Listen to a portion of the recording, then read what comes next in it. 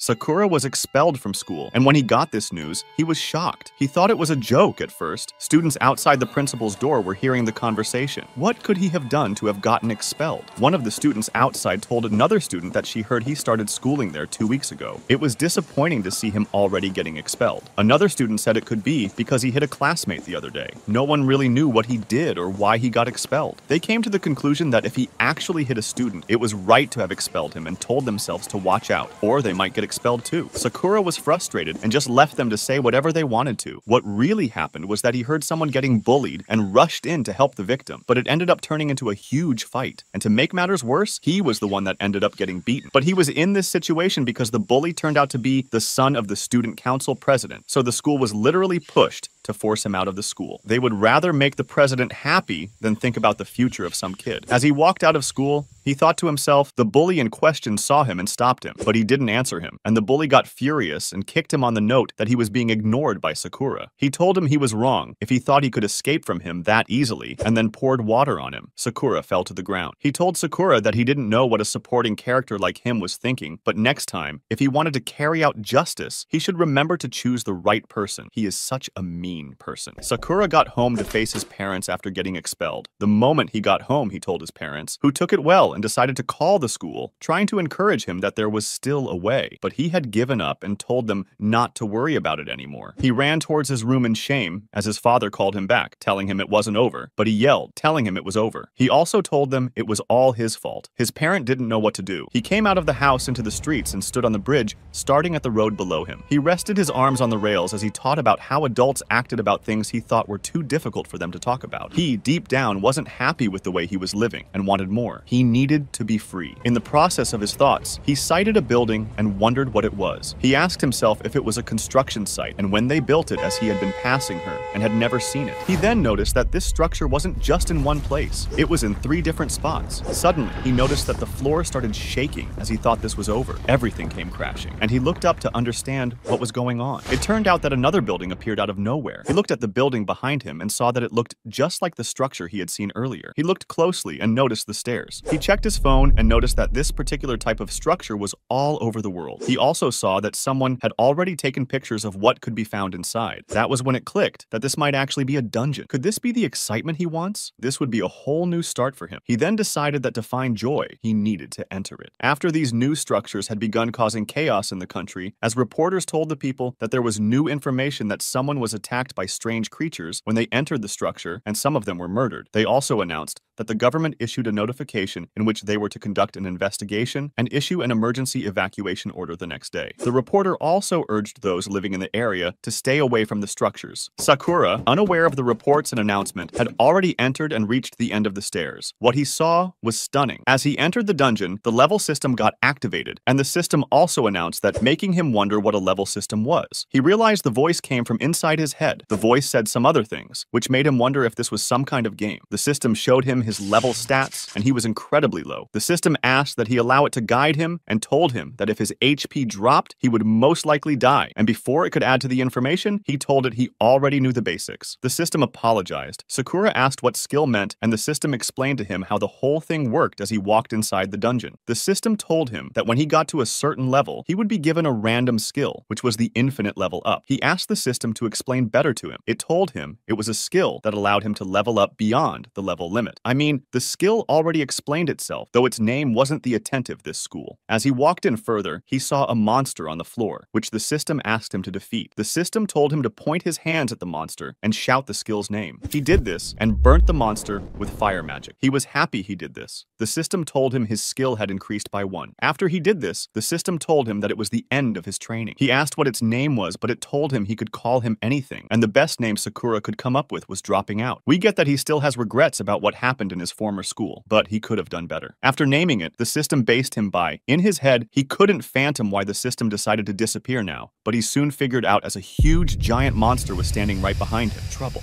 The system brought out the monster's stats. It was a Minotauros, a level 20 monster. The monster hit him, and as he flew in the air, Sakura thought to use his magic, but it didn't budge. He couldn't use it. He requested that the system open his status, and as he saw it, he realized his stats were low. He started panicking as he should. This monster was huge, and it seemed difficult to get out of this mess easily. The monster attacked him, but he ran as fast as he could from the monster. He then saw a slime monster like the one he attacked as he ran and defeated it. His level increased with this. He also found out that his experience points were bound to increase 1,000 times more when he defeated the monster. That was a huge plus for him. He then decided that he was going to level up enough to beat the monster. Back home the next day, Sakura's mom came in as his dad started thinking. She told him she received a text message from their son, telling her he was in the dungeon. Sakura seemed to have gotten a hold of the dungeon, and as much as he knew, he couldn't defeat the monster at his tail. Now, he continued defeating other monsters as he ran in an effort to eventually level up and beat the monster after. But is this a smart move? He is bound to get tired after running around like that. He was in the dungeon for a day and learned a lot about the dungeon. He noticed that it didn't matter how many times the floor was destroyed. They always returned to normal. He also understood how the monsters worked,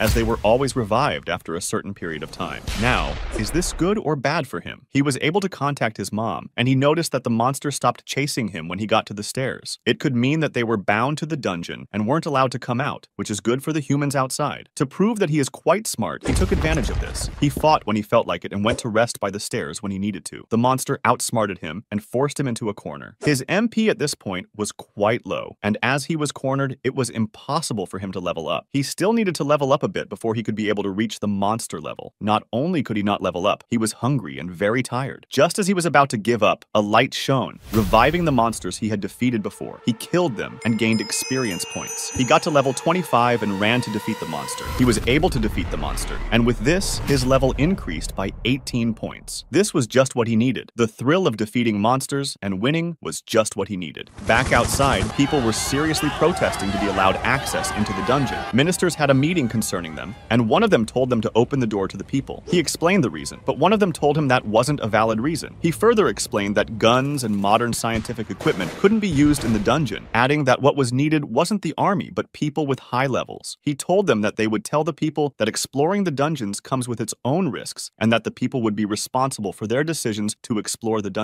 This man seemed really bright, and he was really posing a good point. He also told them they needed a name for those who would decide to explore the dungeon. He then addressed that they called them the player, a new start for everyone. Eight months later, people started entering the dungeon and went through the same process Sakura went through. A new group of people entered and faced a Minotaurus, but something was strange about it. Aya, a girl in the group, asked that they get out of there, explaining that it would be difficult for them to get out of there with their current level. Hiro told the girls to run first. Aya asked why, and he told her it would be difficult if they ran together. He told her that he would hold the monster back for them as they ran. Aya didn't want to leave him in the hands of the monster, but he told her not to underestimate him. He fought the monster, but when it got to a point, the monster overpowered him. In the process of almost getting hit by the monster, he remembered when he made the decision to ask the girl if they would love to participate in the game. He thought this was final and he was going to die. But before he knew it, the monster was defeated by some random boy. After he killed the monster, he asked if they were okay. He told them he heard screams, so he rushed down to help them, but they were suppressed. He defeated the monster with just one blow. Hiro decided to ask what level he was, and his answer shocked them all. He was at level 1000. Hiro and Sakura spoke about how he got to reach level 1000. Hiro didn't believe him, but he showed him proof. Hiro told him he should be careful about whom he tells, because his level can cause others to harm him. He told him that if this came out, not only would the government, but the whole world would want to monitor him and take advantage of him. He added that he could lose that freedom he so yearned for. Hearing this helped him rethink his decision to tell Hiro, and he asked him to just pretend that he hadn't heard anything from him. Hiro told him not to worry about it. He knew he was a good person. He saved them all, so keeping his secret was the last thing he could do for him. He told him the girls hadn't heard anything, so it was fine. Sakura thanked him, and henceforth he knew he had to be careful. Aya walked toward them, and thanked Sakura. It turned out they had heard everything. Aya told him he was really strong and asked if he was aiming for a specific dungeon. She told him the country's first trial was completing the H-rank Red Shadow dungeon in Okinawa. She kept talking, saying that the reward for defeating the boss on the deepest floor was 30 million, and they would also be getting a bonus. This was a new mission for Sakura. This whole thing was getting interesting for him. He decided to go back and told them he would be leaving the next day, which was Monday. But the other girl corrected him and told him the next day was Saturday. He didn't didn't even know the time or day it was. He decided not to tell them how long he had been in the dungeon. It was sure that his parents would have been so worried about him. He left them. Hiro told the girls he was getting old and he would not be able to protect them anymore, but Aya interrupted him and asked if he was going to give us now. She encouraged him that failing now was not a big deal and told him they just needed to be the strongest team. Sakura came out after eight months and it was freezing outside. He saw that a lot of things had been created for players. He went into one of the dungeon centers to sell some items and the attendant was shocked to see how many things he brought to sell. When he saw her expression, he asked if there was anything wrong. She told him she was just surprised his back could contain all the items he had brought. He explained that it was a magic bag from a monster called Adamante Eat. It could contain a lot of magical items no matter how much or how heavy. She was thrilled and told him he was really strong. He knew he shouldn't tell how strong he was, so he probably wouldn't say much. He then saw a dungeon entrance in the store and asked why. The girl told him the dungeon was built around the entrance. She told him it was a low-rank dungeon, but no one had been able to defeat the boss, and she told him it wouldn't be a big deal for someone as strong as him. He asked her how much it took to appraise items. She answered that in a few minutes, he told her he was going to try defeating the boss. On the five floors of the dungeon, two men on this level talked about how they heard this place was scary and came to check it out. In the process of talking, one of them saw Sakura in midair. He saw the Slime King and figured out it was the boss of this place. It was very fast, which explained why no one had been able to defeat it. He thought about what to do and decided to use his ice magic on it. With this, he defeated the boss, and an item fell out. His level increased by an insane amount, 19900. This is mind-blowing. He figured out why the Slime King had so much reward. He was also given another new skill, Flying Clouds. He tried the skill, but there was a limit to what he could do, as the skill was still on level 1. Two days later, he got to Okinawa, and he didn't even go to visit his parents at all. That was not so nice, but anyway, he is the boss of his own life. When he got there, he overheard some people talking about how difficult the task of defeating the boss of the dungeon was. He wasn't going to listen to their words anyway, as he walked towards the entrance of the dungeon. Before he entered, a man called him and told him he would advise that he give up entering the dungeon, even if he was being enticed by the money involved. He went further and told him it was hard to even for a level 66 like him. They kept talking but were interrupted by a helicopter landing. A girl and her guards came down and told him to move out of the way. He called her a child, but she told him she wasn't and pointed out that he wasn't either. She introduced herself as Maria. The man Sakura was talking to had disappeared. She told him the dungeon was not a big deal and that she was on level 99. After talking and having a little argument, she entered the dungeon. He entered shortly after her, and he noticed that inside the dungeon looked nice. He then looked to the side, only to see the girl being chased by a monster. He saw her and asked if she was the level 99 kid. She ran towards him, shouting for help. He killed the monster with just one blow, and this surprised her. He asked if she was okay and stretched his hand to help her up, but she told him she didn't ask for his help. He asked her why she was lying. She stood up by herself. He asked her why she ran instead of fighting. She replied, saying there wasn't any other way. She is really a spoiled child. She told him she had never defeated a monster that still moved. He asked if she lied about being at level 99. She explained that her guards beat the monster up for her, and she ended its life and leveled up with that. That was such a way to level up smartly, but she wouldn't have any experience fighting. Sakura heard this and decided he was going to leave her, but she ran to him and hugged him from the back. She told him that she was going to give him special permission to join her group, but he showed her that the exit was at the back of the room. Sakura questioned her about what she was trying to accomplish. In all honesty, he had no feelings for her at all. As a result of her arrogance, she was requesting that he submit to her with such hostility. She did not pay attention to him and instead held him even more tightly. He then instructed her to go outside and ask the folks who were dressed in black for assistance. She made it clear to him that she was terrified and that she required his assistance in bringing the monsters to her. It was her fervent request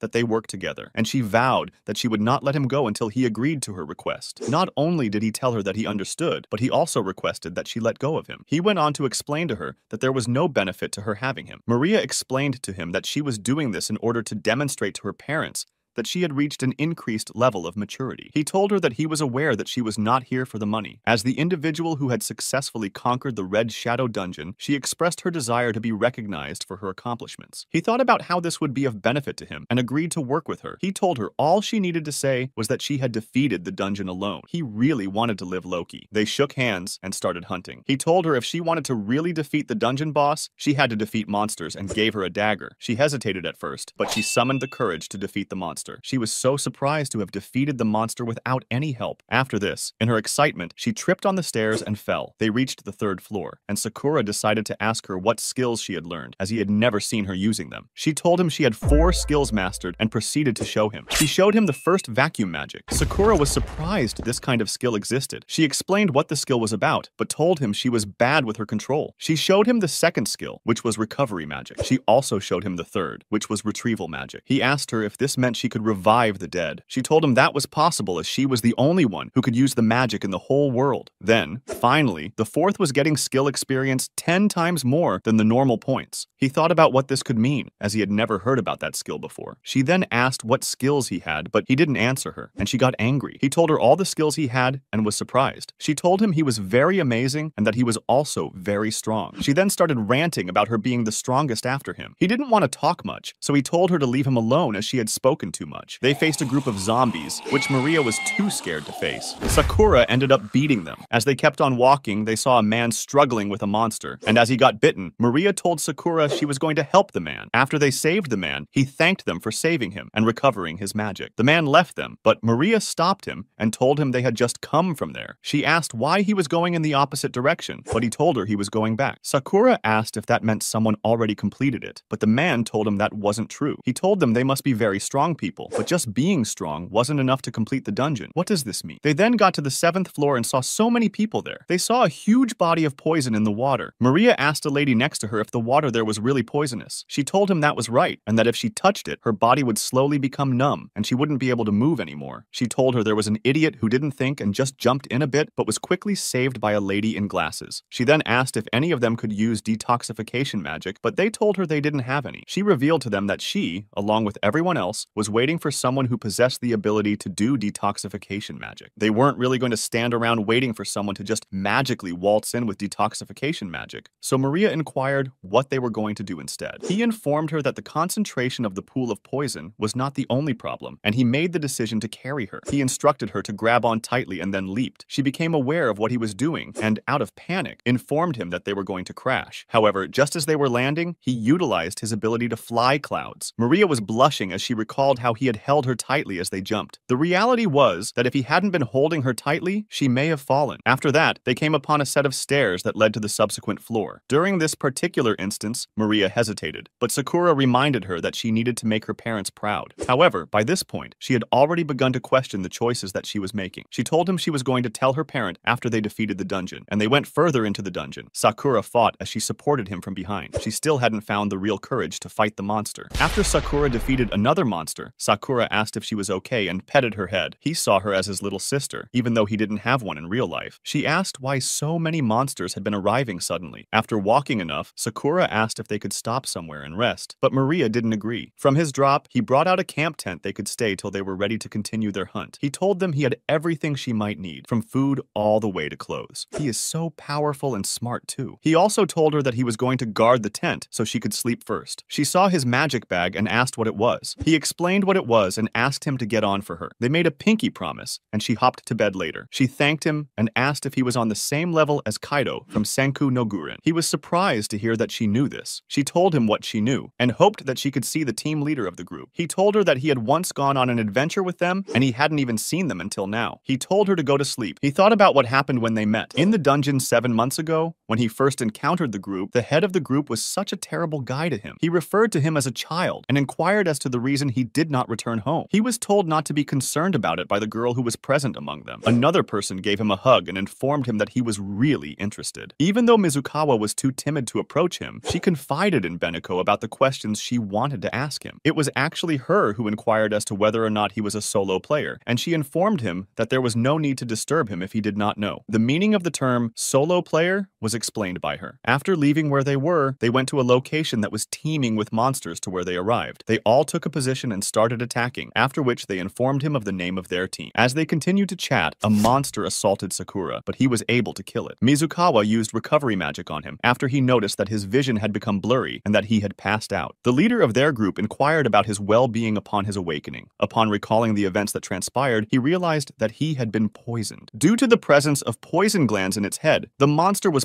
popularly known as the poison bird. In addition to this, he informed me that the poison might enter the body through the wound, causing damage gradually and ultimately leading to death. Sakura questioned why he was still alive. He explained to him that Mizukawa managed to extract the poison by the use of detoxification magic. During his sleep, he was able to take him to the 14th floor by utilizing his strength, as he stated further. He was taken aback when he heard that spells similar to the ones he had just learned about existed in the world. Whoever was waiting by the pool of poison was anticipating this very moment. It was the person who was talking to Sakura who inquired about his level statistics. The things that he witnessed left him in such a state of shock that he left right away to go and reach the next level. Additionally, the other person inquired about his upcoming destination. After that, the leader demanded to know whether he and Sakura may have a brief conversation. Sakura inquired as to whether or not they were all members of Iria's school club before the leader could make any statement. The leader responded in the affirmative and complimented him on his degree of expertise and level of performance. In response to Sakura's inquiry as to the reason for their decision to become players, the leader explained that he regarded it as an opportunity to explore with his buddies. Not only did this present him with a wonderful opportunity to enhance his friendship with his friends, but it also served as a really good incentive for him to go out and explore with them. He also noted that he found it interesting to talk to him, and he mentioned that it was intriguing. In addition to that, he noted that Kaido was experiencing a more interesting experience than he had initially. On the 14th floor, where they continued their trek, Sakura was concerned about something that was going on in relation to the issue. While Mizukawa was approaching him, he conveyed his appreciation to her for restoring his health. He was a really cautious person. She informed him that she had done nothing wrong, but he told her it wasn't true since he admitted that he would have passed away if she hadn't been right there. She reassured him that everything was great despite the fact that she was not like everyone else, and that she possessed skills that were advantageous to them all. He expressed his appreciation to her for saving him once more. The leader informed Sakura that the air on the stairs appeared to be cold as they neared the stairs. Sakura sensed the air on the stairs. As they continued to converse, the floor boss emerged from the room. Kamishiro asked if the boss was down there, and Kaido and Benito decided to play rock, paper, scissors to decide. They are so childish and brave compared to shy Mizukawa. Sakura didn't understand what they were doing, so he called Mizukawa and asked. Benito told him that defeating the boss would give them a lot of experience points, so they used this game to decide who would kill the boss. Kaido didn't want Sakura to join in because he was already at level 71. It wouldn't be nice to make him level up when they were still below. Mizukawa told him that wasn't how it should be. She told them Sakura was their friend, so they had to add him to their game. Kaido eventually agreed to have Sakura follow them, even though he didn't seem so pleased with the idea. He didn't have a choice, majority of the group didn't mind Sakura joining them. They made their way up to the 15th level, where Kamishiro cautioned Kaido to be cautious about moving too rapidly because it was quite dark. As they continued to move forward, a monster appeared out of nowhere and was about to attack Mizukawa. However, Sakura was able to move swiftly enough to strike it. Due to the fact that this caused them to stop in their tracks, Sakura continued to combat the creature, and he instructed Mizukawa to get back. The fact that Kaido leaped in to attack the beast gives the impression that Kaido saw Sakura as a threat and considered him to be a competitor against him. Because there was no location for him to do it, Kaido instructed Sakura to take a step back and take a look at the situation. Mizukawa requested that he demonstrate his hand to her, and Kaido instructed them to observe how quickly he could defeat a boss adversary. Kamishiro inquired as to whether or not he was in any danger, but instead of responding to his inquiry, he informed him that there was something much more perilous. He had observed that his health had decreased after being bitten by the monster with two tails, and he found himself wondering if this was due to some kind of unique impact. At the same time that they were conversing, Benito noticed that Kaido was being battered and was having a very difficult time fighting the monster. During the time that Mizukawa was running to heal Kaido, Sakura's hands were healed, and Mizukawa asked him to assist Kaido. Sakura proceeded to assist Kaido. When Kaido noticed that the monster was heading in his direction, he went to Mizukawa and informed her that it was going to continue attacking her. Kaido was furious with himself for such risky behavior. Benito was flung onto the floor, and although she was attempting to stop it, she communicated to Mizukawa and Kaido that they needed to flee before it could reach them. They were all taken aback by the fact that Sakura was able to utilize his lightning power to eliminate the monster before it could reach any of them. As a result, he was able to enhance his score by 20 points. This was good for him. Kaido suddenly appeared and proceeded to punch Sakura, and everyone was shocked as to what he was doing. Kaido was jealous of a Sakura. He should have been on his knees to him, but he instantly became threatened by him. Instead of expressing gratitude to him for saving their lives, he was acting in a way that was both rude and weird. Suddenly, Kaido yelled and asked Sakura why he was trying to steal his prey. Man, you had the opportunity to fight with this monster, but you couldn't even hurt it. This is so disappointing. In light of the circumstances, Sakura couldn't help but marvel at how he could be so naive. Sakura's strength is definitely something that Kaido saw as a threat, and he probably had the impression that someone as small as Sakura could not possibly be that powerful. Almost immediately, Kamishiro expressed his regret to him and informed him that he had not anticipated Kaito to behave in such a manner. This was something he had always stood against bullying. He was strong enough to fight alone. He had been on this journey alone, so there would have been no big deal if he had continued alone. Sakura shared with them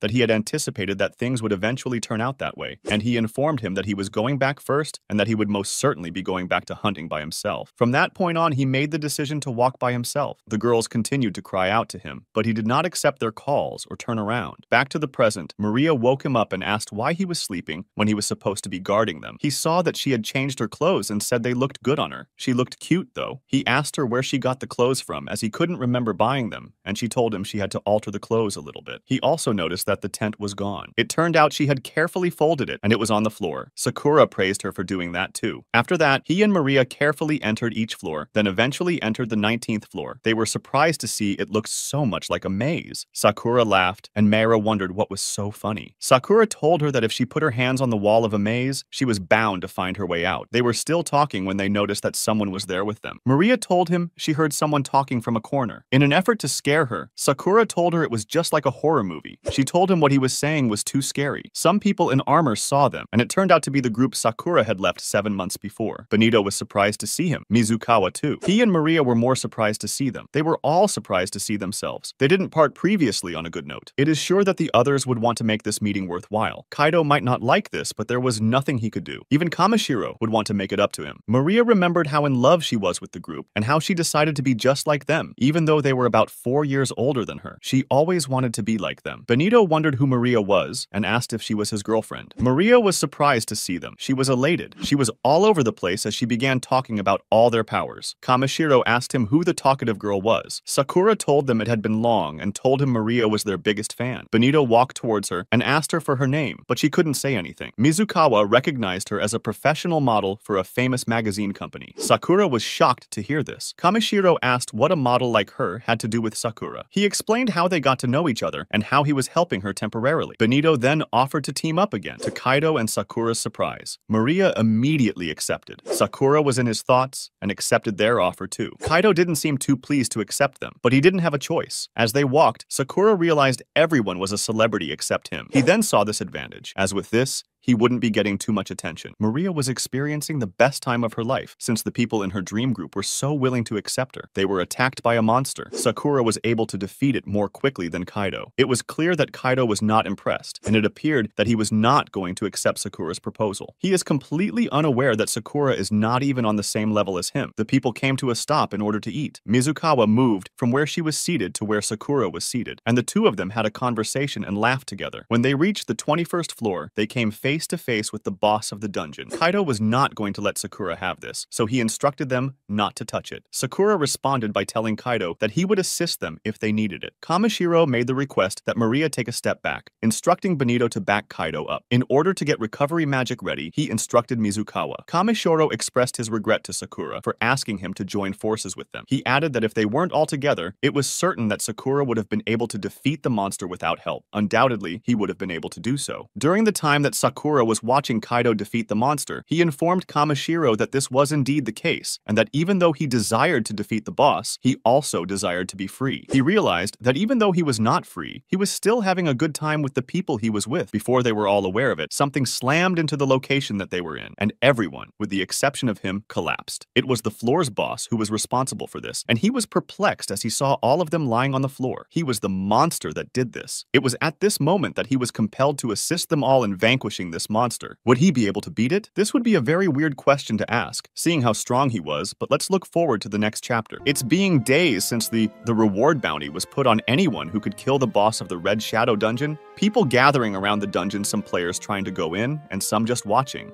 And right at that moment, a love broadcast from a news channel done by a reporter was started, called The Appeals of the Dungeon, and the reporter being reporter Takota Koko, who said she was present at the Red Shadow Dungeon, the most talked about dungeon recently.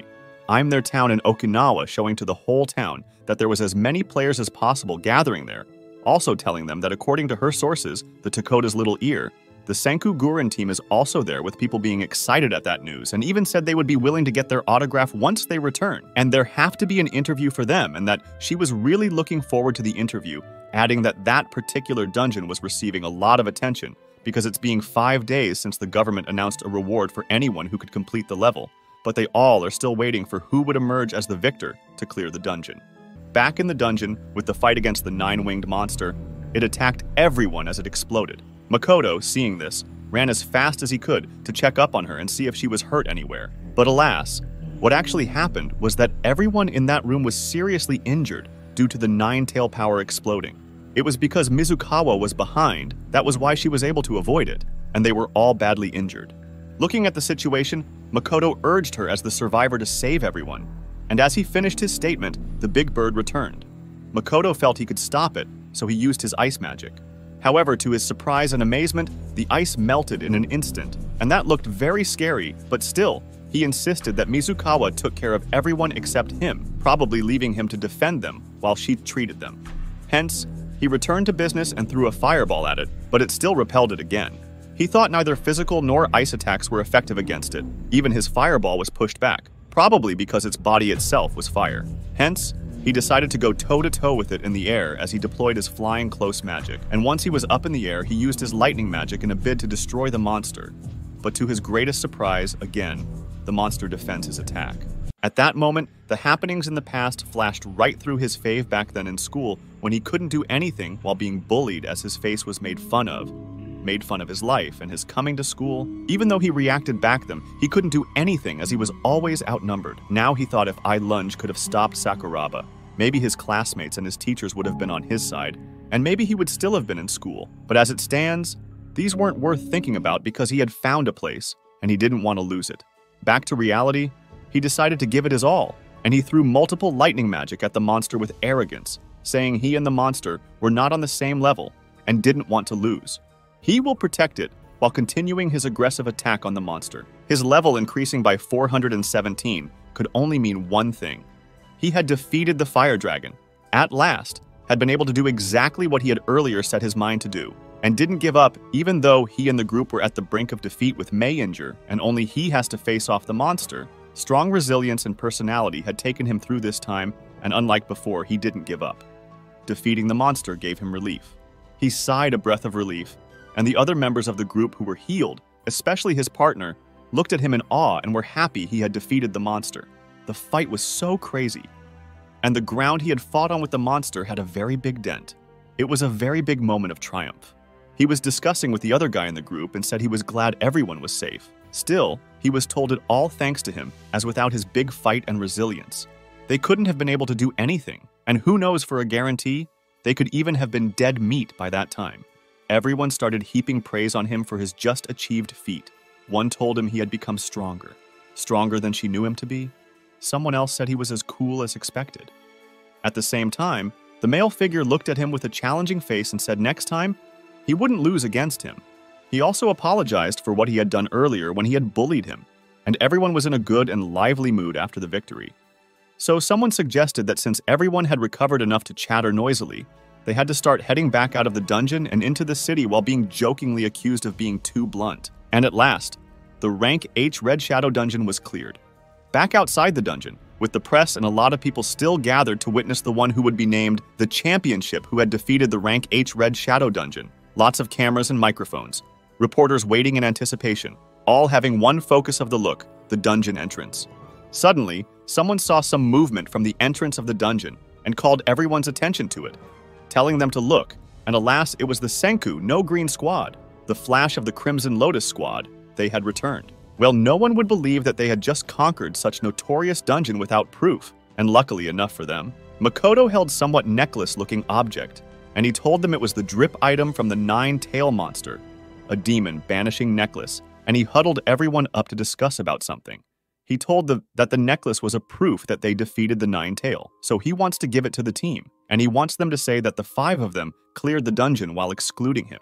Even though at first they were not completely buying the idea, he told them he didn't want to stand out, so at last they made the announcement and said that the Red Shadow dungeon was cleared by them, the flash of Crimson Lotus also alongside them, and hell was Maria, Everyone was amazed and happy at the feat they had just achieved, and had plenty of different questions to ask them, like how they conquered the poison pond, and if the dungeon's boss was as tough as expected, while what took others' attention was the model Maria who looked so very cute in the mood of the Mary.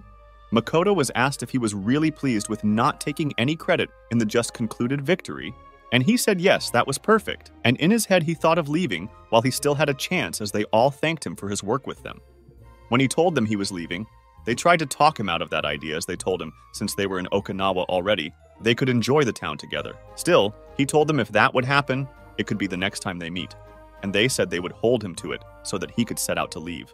As he was leaving, someone called out to him, and slowly he turned his head backward to see who called him. It was Mizukawa, who told him anytime he came back, they would always welcome him as their friend. And so, in a somewhat emotional scene, he left.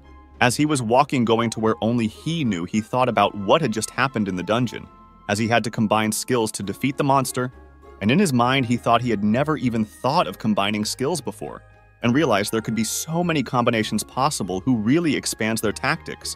And above all of it, it was fun also thinking it was not just about levels, but depending on how they use them.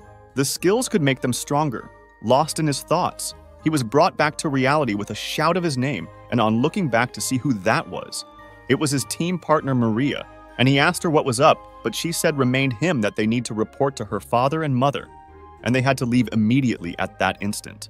But he asked her why she won't go alone. But she asked why he would say such a thing as the report isn't just for one person person. But he told her to go alone, but she wouldn't bulge, and went to hold him close. But he immediately warned her not to cling to him. But she told him she enjoyed and had fun with him, how they explored together, talked together, ate together, and even fought together going on. She told him she has spent her whole life showered with a lot of love from her father and mother, and has being happy. But now she knows that there's so much happiness outside too and if her partner is Makoto, she would be surely delighted. And so there was no need to worry, and she instead they needed to go together to report. Makoto surprise asked how they had gotten to such point. He told her that she was admirable, but he had a fight with his parents for a long time and hadn't been home in about eight months, so he needed to apologize. Then, immediately, she turned back and said she disliked him for not treasuring his parents. She would come back when he becomes a gentleman who's more suitable for her, so she left while he said her goodbye, and they both promised to meet again as they formed a decent team. Then, after walking for a while, he finally got home, looking nervous as he stood in front of the door to his house, not knowing what to expect, whether good or bad. But at last, he summoned up. Courage opened the door, and immediately he did. The first person who saw him was his mother. She threw herself at him, hugged him with her teary eyes, and welcomed him back home with the words, Idiot, welcome back. His father, on the other side, was standing at the doorway looking at the mother son bromance. Once they caught his attention and saw him standing, he welcomed him back home, and that's how his eight month runaway life ended, or so he thought. Once he got home, he determined that his life as a player wasn't over, so he would go back to being immersed in dungeons and contemplating which dungeon to go to next as he stared at his phone. Then, he had a proper child to parental conversation with his father and mother. He told them his intentions as he would like to continue as a player, and thought that after having cleared rank H, maybe he could try rank G. So he bid farewell to his parents to tell them he was off. And once he opened the door, he could not believe his eyes on who he saw at the door. It was Maria, his former teammate, looking bright and lively. Then she spoke some words that threw him off balance and asked him to go out with her. Not knowing what to do or how exactly to react to what he just heard, the only thing he did instinctively was to shut the door behind her as she shouted his name from outside the door. After many shouts and thoughts, he finally came out and followed her to that date of hers. And his greatest surprise, the whole Senku No Guren squad, the flash of Crimson Lotus squad. He asked if they were there, as if just to be sure he wasn't seeing something else. But then it became clear he was seeing the real people as they greeted him. Good morning and hello, they said he told them they would hang out. Maya next time back when they were I. Okinawa, and that next time was now, as Maria had earlier told the squash would be returning home the following week. So they felt that was a good way to say goodbye to her. And while they were talking, he apologized for what he was about to do, which was cut them short as he said he on his note would like to return to the dungeon. They asked him if that was all he cared about, and told him how about saving time for his youth, emphasizing his youth. But the reply he gave them was that the dungeon was youth, and they could not help but wonder if he was okay and if nothing was wrong with him. Since the dungeon is where he wanted to go, Maria suggested how they all go to the dungeon after their date, and they all agreed. So they decided to go on their date. On the other hand, Makoto had to ask them how they got his address, and they told him that was something he was better off not knowing. They got into a cloth boutique, and Makoto was told since all he only wore were old things, he should allow the professional model. which was Maria, to choose something for him. He then remembered what he and Maria had spoken about and confronted her, saying she had told him they wouldn't see each other for a while when they said their goodbyes. Still, she told him she thought he would have been sad about not seeing her before she went back home and wouldn't be able to see each other anymore. She wanted to repay him somehow as he had always been nice to her, and told him not to be rigid and let loose so he would enjoy all he wanted. And he thought that was true since he was there already. He would also do well to make sure he enjoys his time out. Then she picked him up a t shirt which he said was beautiful. From the clothes store, they went to an aquarium called Umino Aquarium. But before they could say, Jack, Maria flew into the aquarium saying she loved the aquarium. They were trying to call her back, but before they could, it was late as she had gone. Makoto said the aquarium here was a bit small compared to the one in his hometown, and he would like to see the penguins. While she was shouting at Maria that she was going to get lost, it seemed she wouldn't listen so she just laughed it out, saying it looked like she was innocently enjoying herself. Makoto asked Mizukawa if it was her idea to come to the aquarium and asked her what exactly she wanted to see. Then she told him she wanted to see jellyfishes, as she likes them so much because they are mystical and mysterious.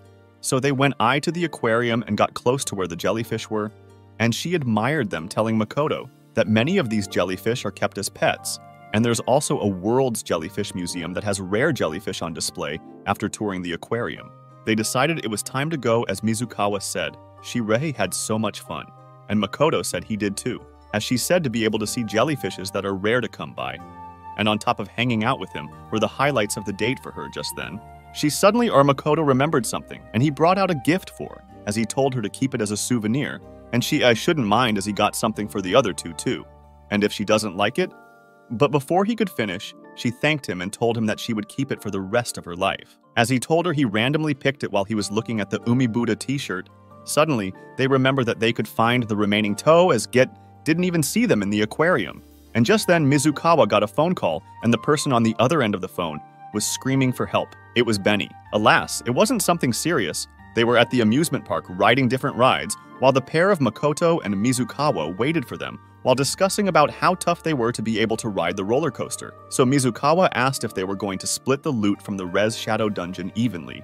But Makoto told her that he was fine, and it doesn't sit well for him, as he's finished the dungeon and told her it's fine, saying, A man only needs so much money to live without struggling, and he only just wants to enjoy the funds of the dungeon. Then Makoto said, Speaking of does their team, the Senku Guren, have any plans? She said they do, but it's also the target of most players, and he also have heard of it the rates rank. As Horrendous Mount Dungeon also know as the last dungeon, the dungeon is a terrifying mountain standing tall near Usori Lake Aomori province and also a very scary dungeon. Makoto visited it about 12 months ago and the gate was shut, and it didn't bulge no matter how much he pinched it, and the atmosphere was heavy and chilling with absolutely no sign or feeling of life. Mizukawa said Kamishiro cared about that particular dungeon. And she's not exactly annoyed about that, but she's a boy afraid. Then suddenly, she decided to change the narrative and said, they should not be talking about dungeons when they are hanging out, and he has to make up for it by buying some drinks, which would be on him. Still, he challenged her, saying it was she who was particularly talking about everything by herself. Just then, he left to buy a drink. Still, as he was coming back, he said that Mizukawa was being harassed, as some guys were asking her if he was alone and if she should come to hang out with them. Still, while she was sitting there a lot sacred, Makoto got there and asked him what took him so long. She told him that while he was away taking his time, those weirdos were harassing her, and he said he thought that they were her friends. She said which eyes of his sees that they were her friends. Still, they faced Mizukawa and asked how she would call them weird as they heard her report them to Makoto. She then went up to tell them that they were thick-headed. They were wearing weird shirts too, like idiots. They got very annoyed introducing themselves as the strongest YouTuber duo, the Tsuchikura brothers. They would pay for trash talking them, and they gave them a chance to apologize while they could. In Makoto's mind, he wondered why they would have the guts to make him a level 20000 player. The YouTuber then got angry and sad they didn't even need to apologize, and they won't forgive them. Showing their YouTube videos, the YouTubers were trying to boast of what they do in a bid to intimidate the two. As they say what they value and consider a hot trend is for players to fight each other for fame, and they are the unmatched brothers that everyone knows with a 38 unbeatable win streak. So they said both Makoto and Mizukawa better cooperate and record a video with them as compensation for calling them wired. And even though he got rejected multiple times and got his lovely shirt insulted, he was lucky enough to come across Nagasawa from the Senku no Guren and her boyfriend, saying their fight would be premium viral material. But Makoto was quick enough to tell them they both of them weren't dating, but he told them not to worry even if they get injured. They have an excellent staff that can use healing magic level 8. But Mizukawa told them both then, this should be the one to worry, but they were too arrogant and proud and said there was no way even at the slimmest chance they would lose. So they decided to flex their stats and asked if they both know that the starting stats appeared when the leveling system first activated, and it represents the user's physical power. In his head, Makoto said his own starting stats was low, so the YouTubers told them to take a look at their stats as it would be very, very high. And even if they are both 99s, they just can't win. Just then, Mizukawa told the two of them to quit rambling and come at her, calling them the name that initially infuriated them the t shirt weirdos. Makoto was trying to calm her down, but she said she couldn't take it again as those two were getting on her nerves. But Makoto told her she had no reason to fight them, and she should let it slide. But she said he could stand by and watch if that's what he wants. But as for her, she is definitely going to fight them. Bee reminded her that her level is 94 and her weapon is Swordens. So she told her not to fight. Instead, he would fight on her behalf, but she asked why he would do that, and he told her that she can't fight and win someone higher than her, and she can't just slash them. Then she agreed reluctantly and told him that if he loose, she would kill him. But he assured her that there's no chance he would loose, and the YouTuber heard that and said he really had a slick tongue. So they set their camera to the cameraman and asked him to record as the fight was going to start. The YouTuber, though, he had to attack first to give him the upper hand, so he did attack first and hit Makoto. Then he laughed and asked Makoto how painful his attack was and told him to run his mouth again. Seeing no reaction from Makoto, he concluded that he had tough bones and was going to attack him again after asking him if he could block his next attack, but in Makoto's head, he was thinking the guy definitely talks way too much. Then the YouTuber used his magic hit the Tsuchikura rush to hit Makoto. Mizukawa saw the speed of the attack and was surprised to see it was fast. While the other YouTuber said the results were clear, as no one had ever stood up after being hit by his brother's Tsuchikura rush. But to his surprise, even with his rush, he couldn't hit Makoto, and was surprised he couldn't. But before he could finish thinking, Makoto hit him with just one punch, and that seriously sent him flying like a bird while the other guy was shouting for his brother's sake. Mizukawa was also surprised at that hit, while Makoto felt he had used all his strength by habit to hit the guy. On the other hand, the brother said his brother couldn't lose and must have used magic or some dirty trick. Suddenly, he also threw air magic at Makoto, aimed at Mizukawa, but Makoto ran towards her, carried her, and dodged the blow. To the brother's surprise, as he was surprised, he dodged it and meditated on the fact that they had just lost, while Makoto and Mizukawa were both glad that they had just won. He asked if she was all right and apologized. He said he had forgotten she was behind him and that he had been dogged by instinct. Just then, he noticed he had thrown away the stuffed animal in his hand he got from Maria. Then, the two YouTubers, seeing that they were being defeated, decided to pledge their allegiance to Makoto, and they said they would follow him for the rest of their life. The other brother attested to that too, but they told them to go as they would only be their bad luck, so they apologized and left. Mizukawa said she was tired and would go home, and Maria said that was okay too. However, Makoto reminded them they still had a dungeon to go to, as they had earlier decided in the say that after their hangout, the dungeon was the next place they were going to visit. So he asked them if they were going to come with him, or they were just going to go home as they just planned to look at the situation of things, as they had no choice since they promised earlier. They all then agreed to follow Makoto and go to the dungeon as originally planned.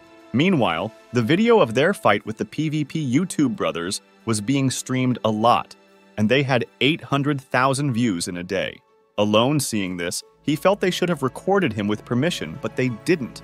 And while he was still watching at home, he got a call from someone who said he saw the video of the brothers, and Makoto told him he didn't want anyone or any attention or anything. But the Piran asked him what level he was and went straight to the point. He asked Makoto to fight him one on one, boasting that he can defeat. It was the 20th floor of the rank G Blue Cave dungeon with plenty of monsters trying to attack him, and he was fighting vigorously and defeating the monster one by one while leveling up by 6, or by 7, and even by 5. Alas, he was already in the G dungeon, and as he finished fighting, his mind went back to the call. The caller said that he had once shown him his status board, its infinite level up and 1,000 times experience points, And he's got quite interesting skills, he continued saying he could only find it amusing at that time. But now, knowing the limit of leveling seeing his fight with the Nine Tails, and the fact that he defeated the Tsuchikura brothers, he now believes it that he's beyond level 99 now.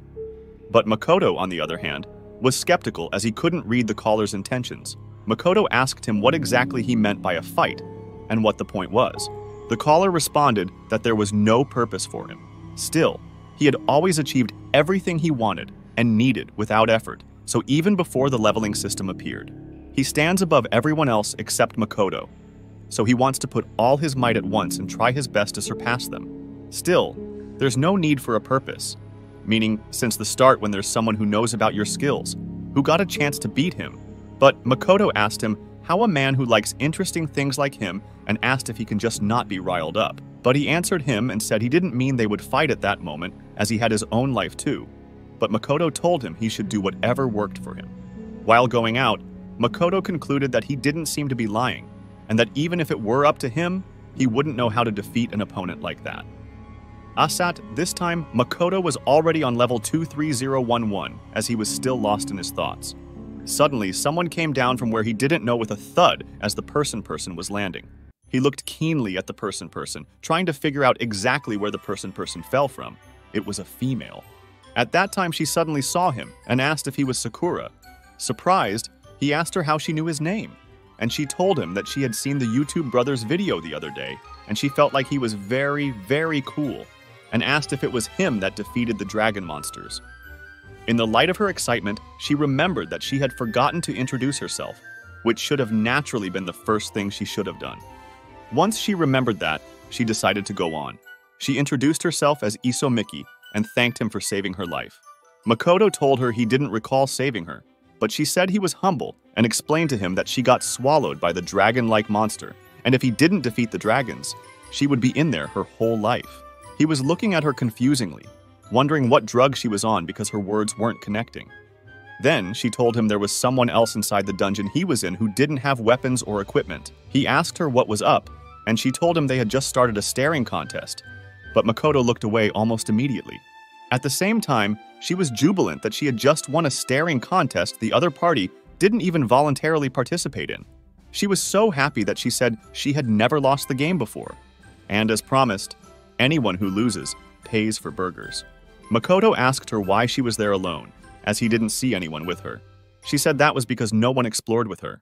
Makoto wasn't even sure she was serious, as she was alone in the rank G dungeon with no gears and no weapon, and all the way in the 20th floor unless she has an infinite level up. So he immediately asked her what level she was. She said she was on level 22, which is of course so embarrassing, but she was 18 years of age then. He said she was lying, and there's no way she would have survived in a dungeon at level 22. She told him it was true and asked why she needed to lie, and even volunteered to show him her own status. But as they were discussing, the monster was fly at a fast speed furiously towards them, and suddenly the monster once again swallowed her. He was surprised again and was curious as to how she's in level 22 and managed to get to that area of the dungeon, so he wanted to see how she did it and went on to rescue her. But upon rescuing her, he saw no signs of wounds or injury on her and wondered what kind of person person she was. But all she could think about was that she was holding hands with him. Sakura was given the surprise of his life. He had to ask Iso Miki if she was okay. Still being her cheesy self, she told him she was okay because he saved her. He corrected her, telling her he meant something else entirely. He was more curious about how she took the dragon's fire head on and even got swallowed by the Dawn Dragon without showing any sign of damage whatsoever. He was positively creeped out, so she decided to tell him even though she didn't tell many people about it. She told him she was able to go through all that and still come out with minimal damage because of her skills, which were quite unusual, but powerful nonetheless. Iso Miki has the skills of negating physical damage and magical damage. Sakura was skeptical about this and did not quite understand how someone could have the skill of negating damage. It didn't add up to him. Noticing his skepticism, she asked him to try and kill her so she would be able to prove her point to him. At first, Sakura didn't want to, but when she kept nagging at him, he finally decided to kill her. He couldn't refuse her, so he told her to step back and focus his magical attack on her head. As soon as he released his magical attack on her, it was as though something had just made it fizzle out.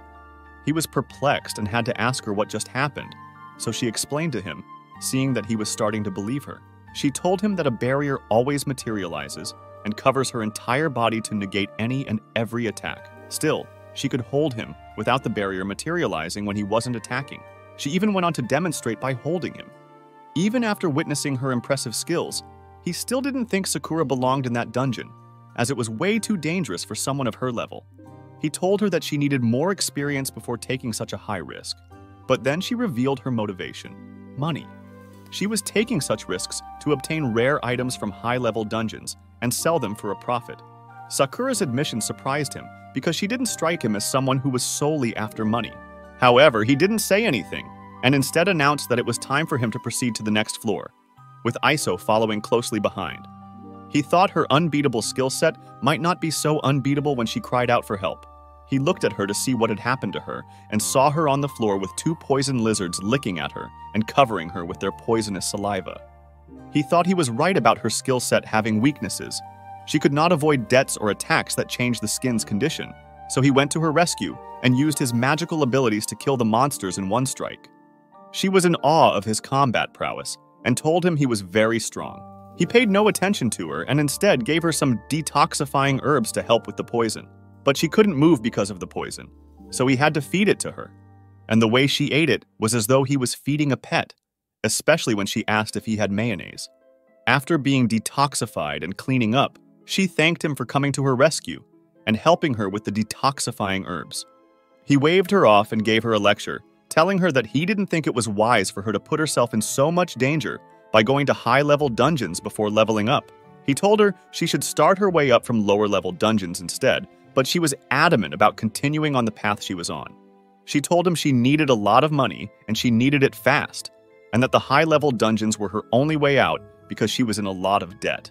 She told him about how she and her sister were orphans, with a lot of debts because their legal guardians, parents, had died and left them with loads of debts at first. Her sister had tried helping out by working to pay off the debt, giving her pocket money, and sponsoring her education as well. Still, she noticed it was too much of a burden for her sister to bear alone, which was why she was trying to help her nice sister and relieve the burden on her head by making money fast, even though it was very dangerous for her, and at the same time, give her lovely sister the time and chance to enjoy her life for once without having to worry. She apologized, telling him she had no idea why she felt safe enough to rant to him and told him she had to go now. As she was going, he approached her and grabbed her by the hand, turning her to him. She had a faint coloring on her cheeks when she asked him what the matter was, and he first apologized for making her uncomfortable and told her that if she desired, he would like to help her on her quest to complete the dungeon, and perhaps in the process, help her level up. Realizing what he had just said, he tried to take it back, but it was too late as she had already accepted his offer. At first, he thought he was helping her because of her determination, but eventually, he knew it was because it was too dangerous to leave her alone. They started their quest renewed with the zeal to help each other, and she told him it was like having a little brother to help her. Meanwhile, he thought she was like an unreliable elder sister. Unable to keep quiet for even a minute as they walked, she told him that going alone was very sad for her, but going with someone as powerful as him, whose level 20000 is much more reassuring and safer. He was beyond surprised as he couldn't figure out how she knew about his level. He was shocked and had to ask her how she knew about his level when he had kept such a closely guarded secret. She replied to him, telling him that when she was falling earlier, she had taken a quick peek. It was how she found out how strong he was. After hearing her explanation, the shock started to wear off. He realized it was his fault for her finding out in the first place. He had been far too careless. She was determined to work hard and reach his level, level 20000. But imagine her shock when he revealed that level 99 was the highest level. She couldn't believe it, especially since his level was so much higher than that. Confused and curious, she asked him how that was possible. He sighed, realizing she wasn't supposed to know about the highest level. It was a closely guarded secret that he had tried to keep hidden, but since she already knew part of it, he trusted her with the truth. He clarified that it was important for her to keep it a secret, so he explained everything, sharing the secret behind the levels. Fast forward to the next level. They were on level 22 and facing a goblin sorcerer. Still, they quickly noticed that the goblin sorcerer only had one attack, so he let Iso face it, telling her he would intervene if she needed help. It turned out that she didn't need any of them. as she defeated the goblin. Her skill level had increased by 13 since he started helping her out. He couldn't believe she did it all by herself, but still, he couldn't help being proud of her and her progress. He was messing with her, telling her that she didn't need his help, but she told him that, on the contrary, she did as his presence gave her the confidence she needed to face the goblin sorcerer. She told him that she would have run away without him being there. He saw something long and big in her hands and asked her what it was. She told him that it was a dropped item and showed it off to him, asking him what he thought about it. He told her that it was a great weapon and would help her out a lot, and with that tea in mind, they charged to the next floor. Time passed by in a flash as they went from floor to floor, and they weren't just facing monsters, but also picking up new skills. I also learned magic like flash magic, and even increased her skill level by a long count. They had gotten a lot of rare items as they progressed up the floors, and it got to the point that not even Sakura knew what all the items were. So they sat down facing each other, cataloging the items and trying to figure out what the items could do. He offered to help hold the items for her so she could focus on leveling up, and then if she could sell the items in the future, he knew it would help pay off her debt. They had gotten to the 35th floor and were not looking like they would stop anytime soon as they kept advancing and facing different and stronger monsters, with Iso getting stronger and stronger. She hadn't felt so strong in her entire life, so it was refreshing for her to face so many monsters head on and defeat them. Of course, it was quite the battle, and she still didn't have enough confidence in herself, as she always believed she needed Sakura's presence to do very well. But her skill level said otherwise, as she was on a whopping level 67 by the time they arrived at the 39th floor. The battle between her and the monsters she faced wasn't easy, though, especially since they kept getting stronger as they went up on the floors. She even went on to face dragons and defeated them. That was a monumental achievement for her since one had swallowed her before Sakura saved her. Using the magical weapon she had found earlier, she slew through all the monsters as though they were just weaklings, and as she did that, her level kept going up, and she learned new magical skills like magical identification, Sakura told her he was wrong, as she didn't need his help at all. He had watched her grow or leap in strength as they progressed. Her levels kept going up, and her skills kept getting stronger. Iso, being her cheesy crybaby self, told him it wasn't true and that she needed him very much. They tried to figure out what her new skill was together. Iso told him that maybe the magical identification skill was for her to recognize and know more about monsters they would face and the item's information, it turns out she was right as she used it on her weapon, and it brought out the information that it was a destructive axe. She felt it was only the name of the weapon it had brought out, and figured it was most likely because the magical identification skill was still at its first level. They also tried identifying the other items they had found, but it brought out nothing. And they were not sure whether it was the item or it was because the skill was still on level 1. She apologized to Sakura, thinking she had let him down, but he told her that she had nothing to worry about and therefore didn't need to apologize, and instead proposed they move on to the next floor and work harder in getting more items as well. After some time, they were on the 40th floor, and it wasn't what they expected. It was beyond majestic and felt very cold. They heard a loud sound behind them and saw that it was the gate to the floor they were on, closing and locking them in. They now had nowhere to go but to proceed to the floor and see what surprises it held. It wasn't long before they found the surprise. Sakura didn't know what it was, so he asked Iso to see if her magical identification skill would work. It was a dark tiger and the boss of the floor they were on. But Iso's magical identification skill brought out that its weakness was holy light magic. And that was all the information skill was bringing out for her. Sakura thanked her and took a protective stance, standing in front of Iso. She was just about to tell her what to do when they heard a loud sound that shook the floor. It was so loud they had to cover their ears with their hands for fear of going deaf. Sakura was shocked when his magic didn't work on the Dark Tiger. He tried using his magic not just once, but twice, and nothing happened. It was frustrating and confusing for him. Then, Iso noticed something was off and asked him what was happening. That's when Sakura revealed the surprising truth to her that their magic had been sealed. He told her his magic was sealed. He couldn't cast anything, so it made sense that their magic had been sealed. Iso tried casting her own spell nonetheless, and found out that he was right. She was in a state of panic now. She was just getting comfortable with her skills, and now she couldn't use them in a fight. She asked him if they would fight in that state. They knew it would be awfully hard without magic. But before he could answer her question, the dark tiger charged at them at full speed. She told him not to worry, and to leave it to her that she would take care of the tiger alone. She was trying to prove something to him. It seemed so as she readied herself for the attack, as the Dark Tiger leaped at her. But her attack mode wasn't quite as she expected. Instead of attacking her with its claws and fangs, it began to expand almost like a black hole, and there was no escape from it. It was so confusing and scary for her. Meanwhile, Sakura was deliberating whether or not he should help her. She had come so far, and he knew she could face monsters alone. But then again, it was the floor boss. He didn't want to take any chances, so the latter train of thought won, and he jumped it to try and help her. Still, it seemed to help her came at a cost that would put both of them in even more trouble, as the Dark Tiger's void would pull him in completely and swallow him, even though he was using all his strength to fight against it. It was making absolutely no difference. As Iso screamed his name, worried about him, he told her to move away, fearing that she would get caught in the Dark Tiger's black hole as well. And just when he was about to issue a warning to her, and perhaps give her a heads up about how she might win the battle with the Dark Tiger now that he couldn't help, the Dark Trigger swallowed him whole. It was like something out of a horror movie. Sakura was in for a real surprise when he fell into the Dark Tiger's black hole. Instead of the expected darkness and flames he thought he would find, rather, he found herself in a stunning crystal palace with towering ceilings. He felt like he had stepped into another dimension or possibly even inside the Dark Tiger's belly. But Sakura didn't let that phase him. He stayed calm and collected, keeping a cool head, scanning his surroundings for potential dangers, and searching for an escape route. Once he got out of that mess, he planned to find a way and go back so he could lend a hand to Iso. After scanning around and seeing no threats, he discovered that he was not in the Dark Tiger's stomach or even in a different dimension, but instead, he was closer. Much closer, as he discovered that he was above them. He could see everything going on below, it was as though the Dark Tiger had transported him away, wanting to focus on Iso first before coming for him, but he wouldn't let that happen. He punched the floor as hard as he could, and it was very hard, but he knew it wasn't indestructible. With enough precise and strong hits, he knew he could break through, but he had to hurry up so he could help Iso.